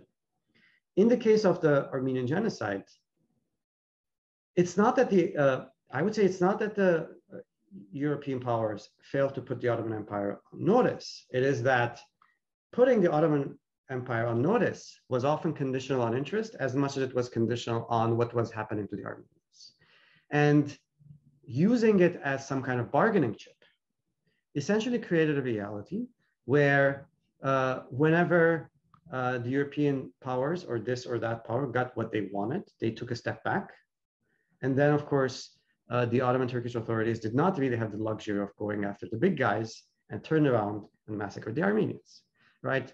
this is what you see over and over again in this period beginning in the late 19th century. It's, it's the inconsistency, it's the way in which it's a bargaining chip, and the way in which that actually uh, muddies the waters and makes it more difficult to make claims of uh, uh, intervention for stopping crimes uh, without also at the same time raising issues of double standards, uh, etc. right? And uh, so, so that it is the complicated picture.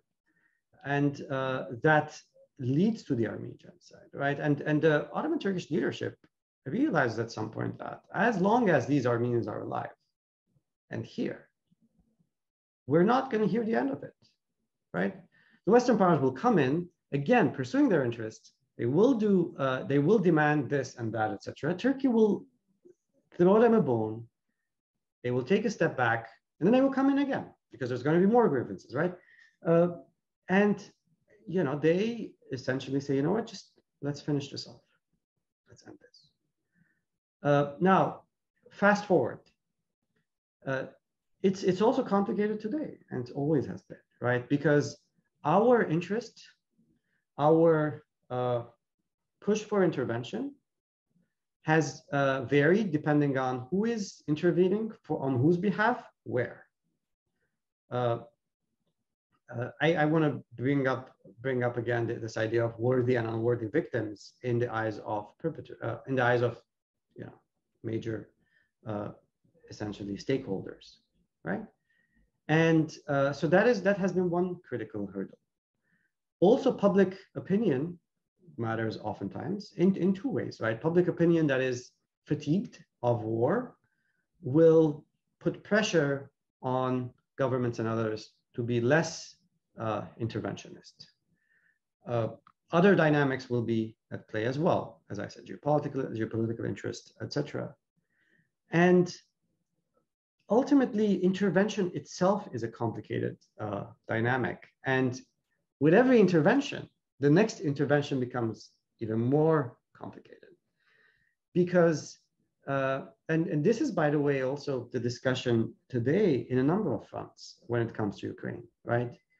Uh, the entire discussion around uh, the International Criminal Court and how the United States now is, you know, both Congress and the, uh, you know, and the Biden administration are pursuing the possibility of uh, using ICC as a conduit for some form of justice for what's going on.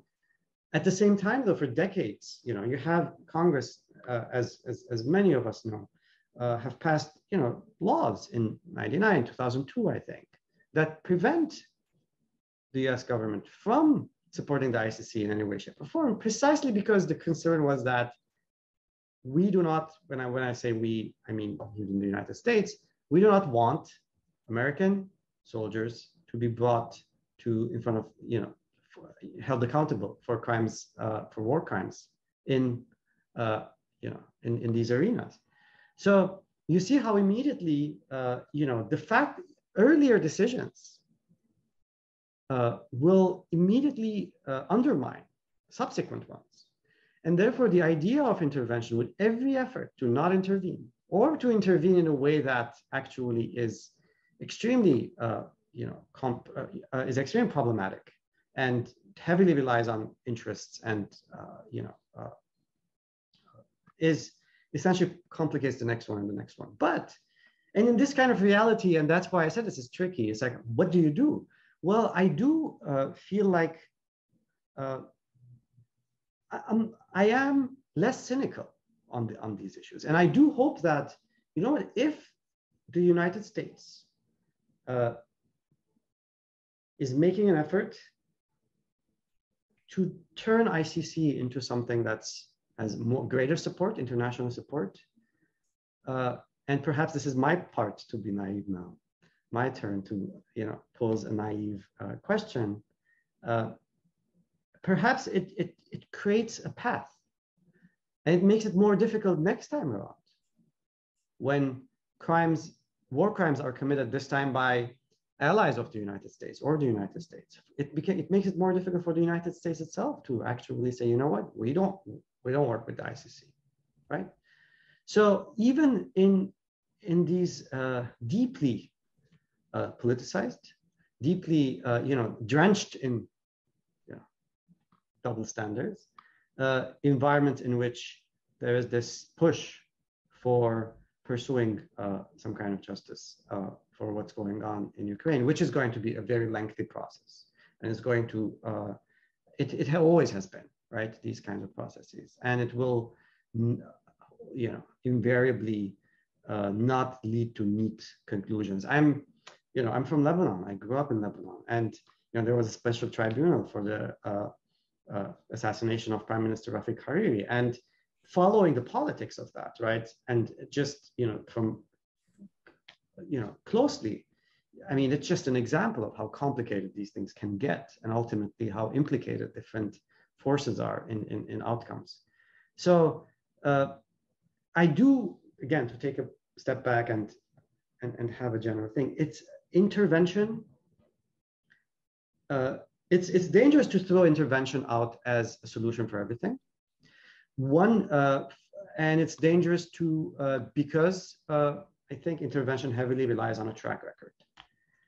But a way out actually sort of lies in the the picture that I painted in my presentation, which focuses on those who are underground and, and, and, and, the, uh, and, and the way in which they envision uh, pursuit of just the pursuit of justice for their cause, right? And how we can help them achieve that. Uh, you know, some people, uh, you know, so so in, in different contexts, right? Uh, it's important to always have our ear to the ground and think about not what, you know, how can this improve our position, say, regarding this larger struggle, geopolitical struggle, struggle against Russia? And think about how can we uh, make help the people of Ukraine come up with the best decision that uh, that they envision that gets them out of this war and bloodletting uh, as soon as possible. And these two things, it's uh, unfortunate, don't always line up. And one feeds into the other. And it complicates and turns uh, in intervention messy. Not to mention that, of course, great powers will, uh, you know, were back then and are right now uh, you know, intervention also means that, you know, you, you're going against a nuclear power, right? One of the, you know, what, what we are witnessing now is the world feeling that we have to watch this because we cannot intervene. But then at the same time, we have to pour as much weapons into Ukraine as possible, right? Uh, so there are these considerations, additional layers and consideration as well that, again, complicate this picture much further. But I wanted to look at a couple of little pieces of it, perhaps to offer uh, some thoughts about both what happened 100 years ago and what is going on today.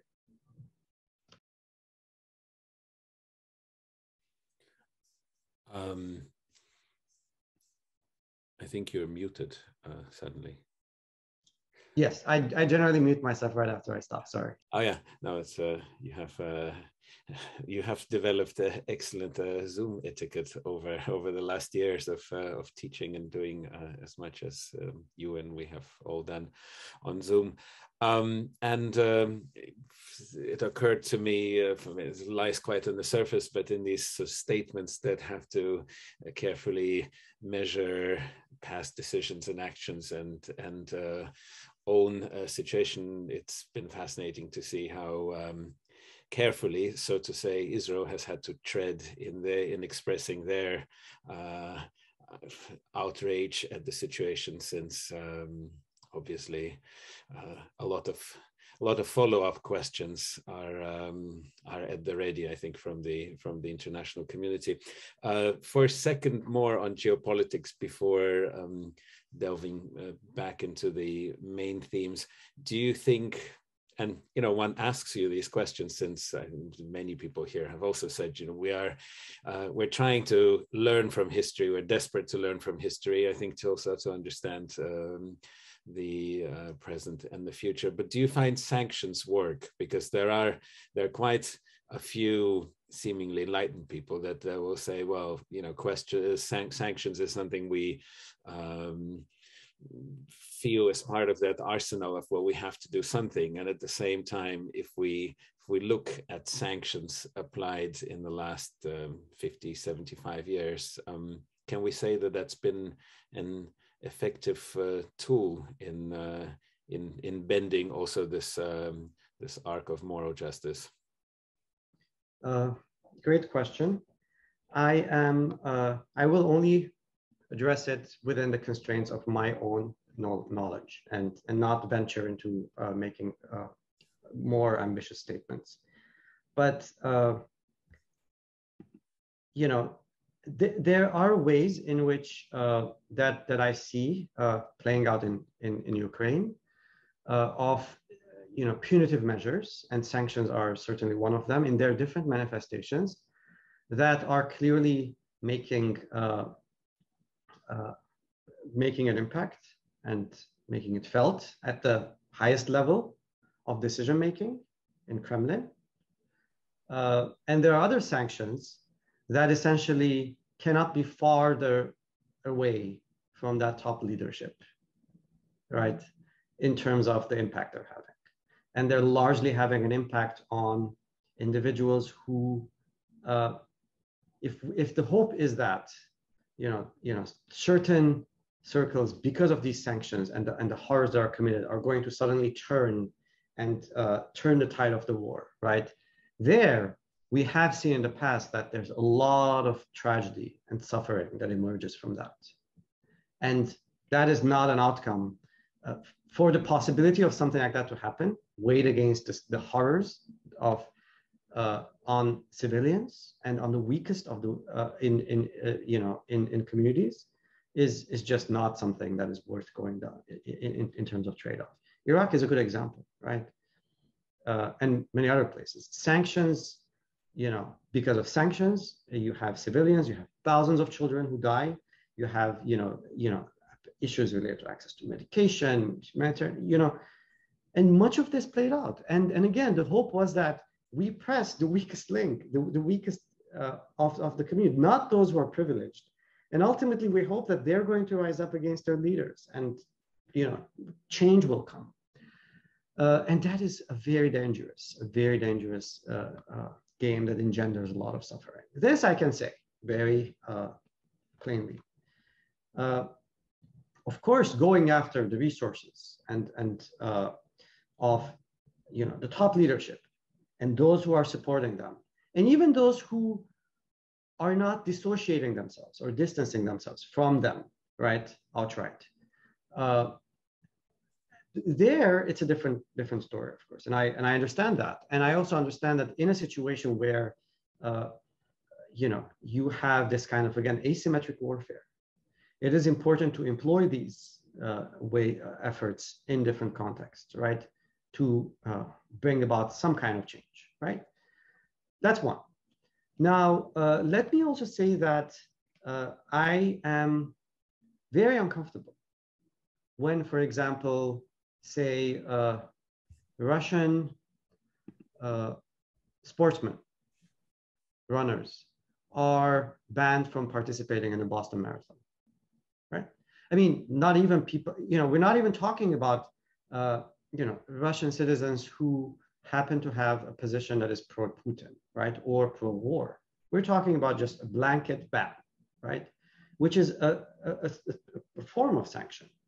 And I'm very uncomfortable about that for a lot, you know, for, for, for a multitude of reasons that I know, I, am sure you, uh, uh, you know, you know better than me in the particular world of music, right? Uh, so, so that, so, so, so the, the term sanctions for me evokes a number of different kinds of uh, thoughts about and about consequences. To wrap up this question, let me give one quick example that also is very unsettling to me. Uh, our efforts to pressure the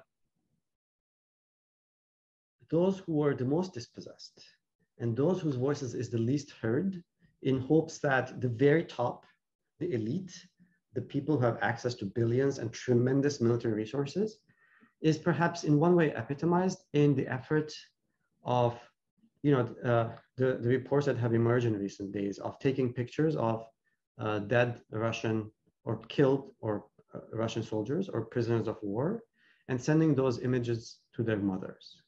And the argument that when we do that, this is going to create an outrage about the horrors of the war and it may change something. And that is for me deeply disturbing. To hope that those mothers are going to feel outrage, which they certainly will, but not necessarily their outrage is not always and necessarily is going to be directed in the direction that is intended. And then to hope that those mothers are going to be transforming the conflict in uh, the, and, and the carnage and the, and the horrors that are being committed uh, is, is problematic uh, in, in that regard, in a, in a similar manner. So I do view sanctions, and not just sanctions, but also different forms of intervention, uh, I try to view it as a case by case basis. And I also understand, you know, the horrors of being in a situation where you try to do everything at your disposal in order to uh, make this stop.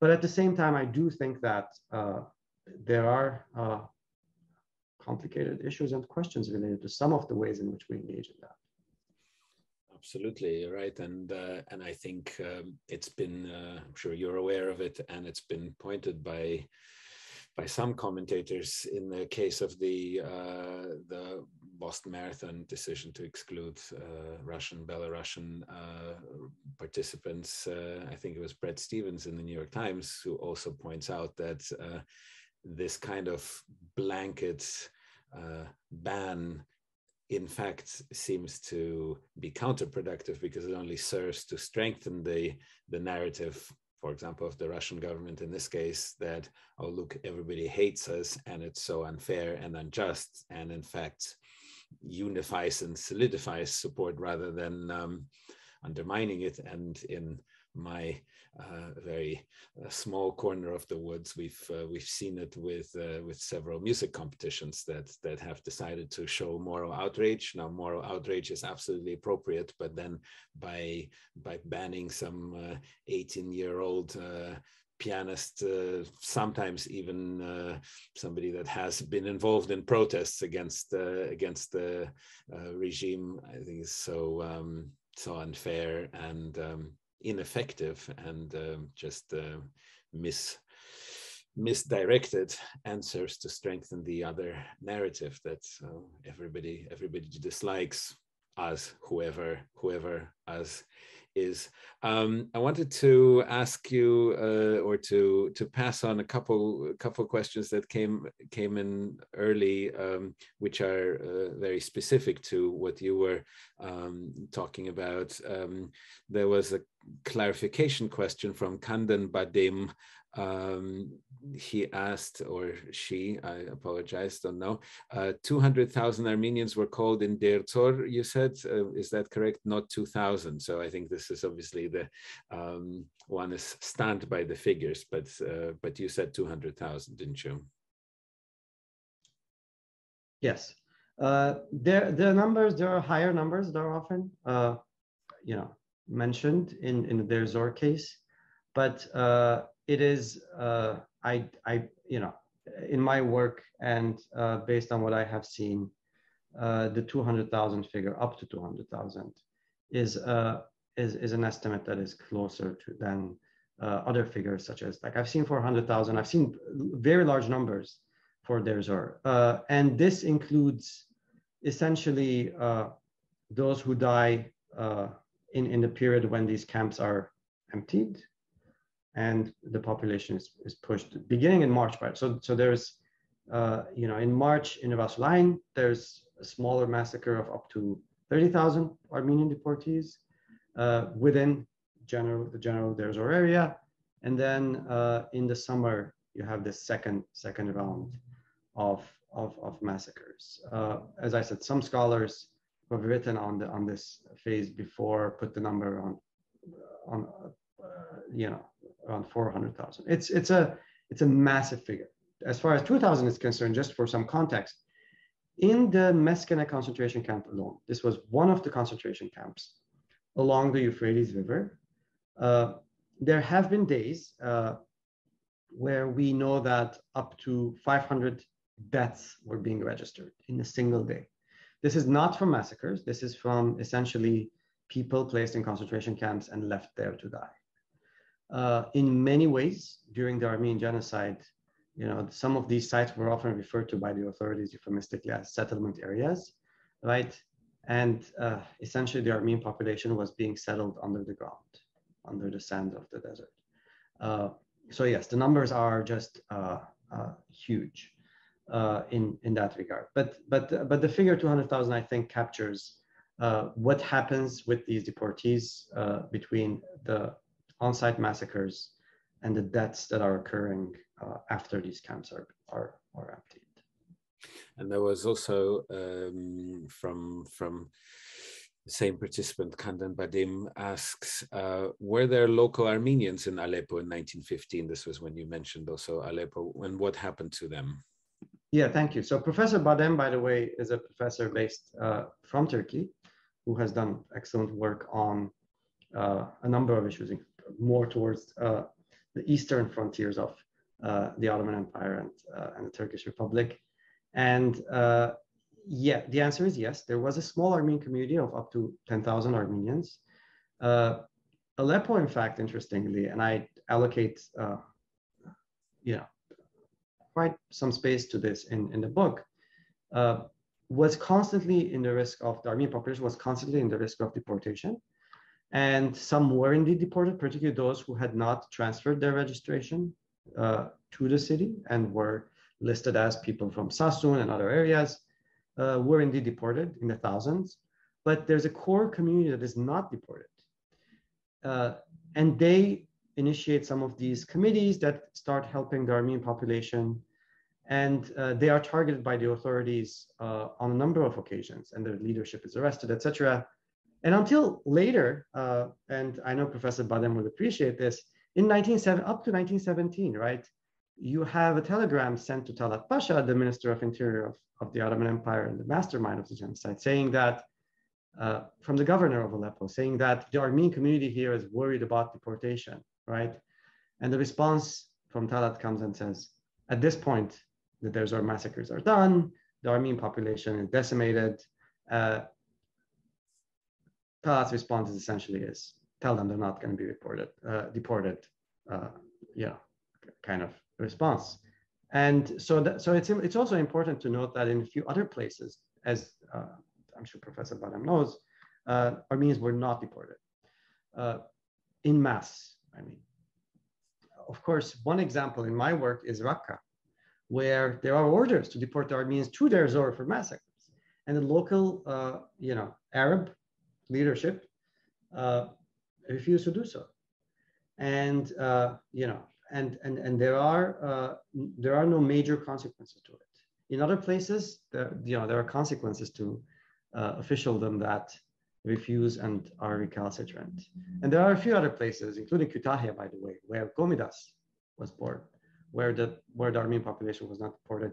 In certain urban spaces where that were at the, at the forefront of, uh, you know, where you had all these diplomats and, and officials, etc., and metropol- metropolis, uh, metropolises like Istanbul and elsewhere, deportation operated differently. Like in Istanbul, uh, thousands were killed of workers, for example, migrant workers. The entire intellectual leadership was you know, exiled and killed. But again, the, the, the, local Armenian population was just left uh, uh, largely un, untouched in this period. Thank you, and uh, and apologies to Professor Badem. Now I will uh, I will know. Um, there's a question from Larry Davis uh, who says, I've not yet been able to acquire it, but there's a book by Aurora Mardiganian that I'm sure you know, The Auction of Souls, that was turned into a US film around 1918. What do you think of this book as a contemporary voice for what was happening among the Armenians at the time? Uh, uh, Aurora Mardiganian's story is a tragic one on a number of fronts because uh, she experiences the horrors of the genocide and sexual enslavement, ends up in the United States. Uh, her experience is turned into a major, you know, a blockbuster film for its time. Uh, is shown all over the country and is used to raise funds for uh, Armenian refugees. At the same time, though, uh, you know, she she acts in the in, in her own you know in telling her own story. And and uh, her suffering is in certain ways uh, instrumentalized in, in, in this in this entire process. So it's a complicated narrative. She's she lives on and there are later on there are several interviews with her that is conducted. And she uh, uh, uh and and and her uh, example and case is one of those very complicated ways that I was addressing earlier about how uh, humanitarianism works, how sometimes decisions are made that we think is better for the person or is better for whatever we're pursuing for that particular group. And oftentimes the consequences of it is not fully appreciated. There is uh, some good scholarship and writing and also some uh, great essays written by artists, scholars, and others on Aurora Mardigan and her story, including one by uh, Atom Egoyan, the filmmaker, uh, in the Canadian uh, filmmaker who also made the, the movie Ararat. And uh, her interview, an interview with her, an oral history interview with her, is also available online. Uh, we, uh, so that's, you know, and, and, and, but I have to say that the film did have a huge impact and help what raise was the name of the film? Asked uh, uh, the the uh, so so it has so it's auction of the souls and ravished armenia. Ravished armenia is the, is the film's uh, uh, also earlier nk asked what was the name of that organization that collected evidence and wrote wrote it uh, using invisible ink to get it out? So the name of the organization is armenian revolutionary federation which had you know chapters around the ottoman empire uh, and was a, one of the active parties in the Ottoman parliament in the, after the constitution is established. Uh, what happens is that just like the other Armenian political parties, the Armenian Revolutionary Federation's you know, newspapers are closed down and everything, its operations are stopped with the de deportation of the Armenians and the arrest of intellectuals. In fact, almost the entire leadership is arrested. Shavarsh Misakian escapes arrest, as I mentioned earlier, and he and two others uh, create a temporary body uh, called uh, uh the temporary uh, body of Vishap. And Vishap is actually the name of the committee, of their committee in, in Constantinople. and it's Vishap in English means is dragon. So this dragon temporary body of three people essentially coordinates this network that stretches across the Ottoman Empire. And I talk about parts of the network that is based in Syria uh, in, in my book, The Resistance Network. And I allude to the general effort in general. But I have to say, every overwhelming number of these newspapers with the hidden ink and with the way in which, of course, it's you know, decoded later on, etc. All of them are still available in archives in, in Boston, Massachusetts. That's amazing and uh, ingenious and moving. Um, just perhaps maybe a couple couple more questions that are uh, why uh, so encircling and winding back to um, to the resistance net network. A particular one from Gary Artinyan who says congratulations to Khatchig for his new concept of resistance during atrocities. How can Karabakh Armenians use these concepts of resistance and prepare for it if they lose their independence and helplessness uh, dominates? It's very important to learn from history with a capital H uh, again, another difficult question. And I, I try to be uh, careful when I'm being prescriptive, uh, and I try to be not to be prescriptive when I can, uh, as much as I can. But here's uh, how I would think about this. In the specific case of Karabakh, so that I can be uh, a little more focused in my response. But, but also, I think the argument works more generally what precipitated uh, the war in Karabakh, in Artsakh? What precipitated, the ethnic cleansing of the Armenian population there? And the ongoing challenges to uh, the borders of the Republic of Armenia itself are uh, did not emerge in a short period of time. This is the product of uh, close to three decades of militarization by Azerbaijan and militarization of the region in general, but billions of dollars of petrodollars going into militarization, right? Uh, this is the product of, uh, you know, generations of leadership, uh, complacency, the product of uh, diplomatic inaction, issues related to intervention, non-intervention. Uh, the kind of language that is often used in international diplomacy, the both sidism language, right? We always refer to whenever we want, you know, to, uh, you know, let me not say we diplomats and and you know, important stakeholders in the region, constantly every time there was an, an attack, every time there was an assault on Armenians in Nagorno-Karabakh, uh, you know, the statements always said, we urge both sides, uh, you know, to be measured, to be restrained, etc. Uh, crimes were not named by their name. Attacks were not, attackers were not identified. And this uh, atmosphere was created where you got away with what you did because the worst that could happen is that both sides would be blamed for it and, and this also is, is part of the precipitating uh, process. So this is a process that's been long time coming, and it's not going to be resolved in a short time. Although there is a sense of urgency because so much has been lost, and uh, in terms of lives and livelihoods and land, uh, but at the same time, uh, and cultural heritage, by the way, that's constantly threatened, and there's a vast amount of, you know, documentation now about that, and uh, the international media has paid a lot of attention to particularly that aspect more than anything else. Uh, but, but this is not something that's going to change in a short period of time.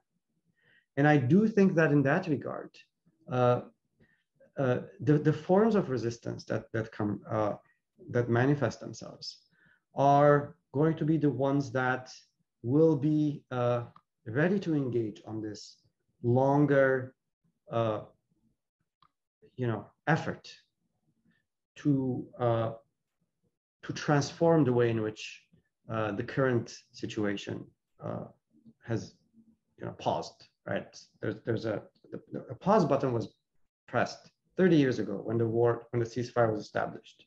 There was a certain reality on the ground that uh, reality has changed drastically. And there's another one, and there's a pause, button, pause button, button again. The decisions are made right now, just like the decisions that are made three decades ago by the authorities of Armenia, Artsakh, and primarily Azerbaijan, right? The decisions that are made today and the international community are going to shape the next 30 years.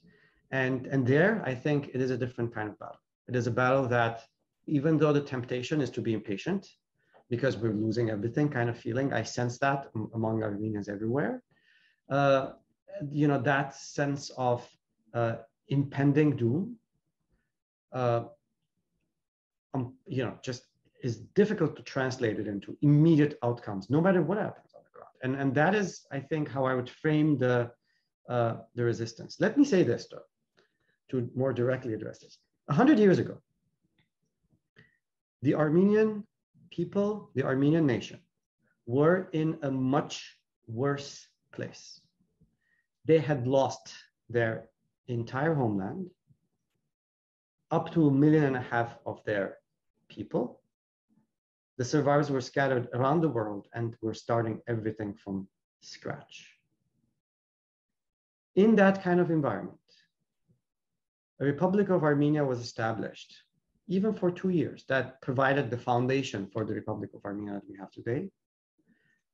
In that environment, after that calamity, there were there are these vibrant Armenian communities that were created around the world, and some measure of justice, as this talk outlined, some parts of it, has been achieved uh, in uh, both in terms of establishing truth, but also uh, moving towards, uh, you know, uh, reparations and other way, you know, these are themes that we're going to address. Uh, and if it was possible 100 years ago for the greatest calamity of World War One, a global war, uh, a just transformation is possible today. That I know. But that, again, the arc is not going to bend on its own. The arc is going to bend with pressure on stakeholders. The arc is going to bend with people staying put on their ground and pushing for their uh, uh, for their rights, and uh, dissident voices in certain circles that are pushing against this oppressive environment, making their voices heard.